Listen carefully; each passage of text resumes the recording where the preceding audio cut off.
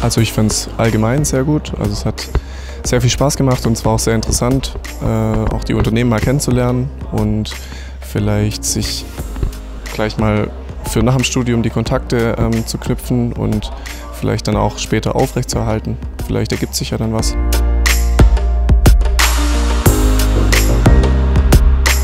Speeddating war eine unheimlich tolle Möglichkeit, junge Talente kennenzulernen, die hier von der HDM kommen. Man hatte eine tolle Möglichkeit, unterschiedliche Leute kennenzulernen und ähm, immer auch den Druck so ein bisschen schnell zu sprechen, aber das fand ich eigentlich super gut. Und wir haben ein tolles Gespräch gehabt, jetzt fast 45 Minuten geredet und ich hoffe, dass sich da was Tolles draus ergibt.